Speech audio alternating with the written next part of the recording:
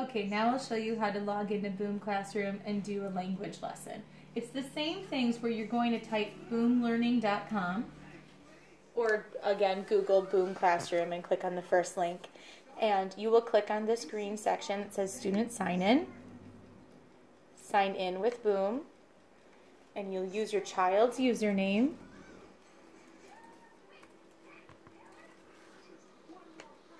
and the class uh, the password I gave you. Okay. And again, here's your child's home screen for Boom Classroom. We're just going to go down to the decks assigned. We've already completed this deck, and I, I practice on this deck as well. So you can keep going. You could do the decks again if you want, or if you can just move on to the next one. So for language, we're going to do the uppercase letter matching. Like I said, not everyone's is going to be the same. So we're just going to match some letters.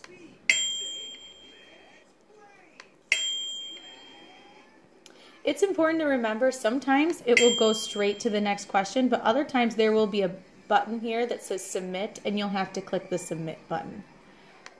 Well, I see that there are 27 options of these, so I'm not going to go through every single one, but basically that's what it would be. Oh, and then of course you get a nice little reward and then a song that comes with it, and that's very cute. The kids would love that. So I'm just going to save and quit. Okay and it would show me since I didn't complete it that the progress is only this far into that activity. You can always come back and do it again. Okay, and then when you're done, you could just sign out. Thank you. If you have any questions, please let me know. Again, this is a learning process for all of us. Bye-bye.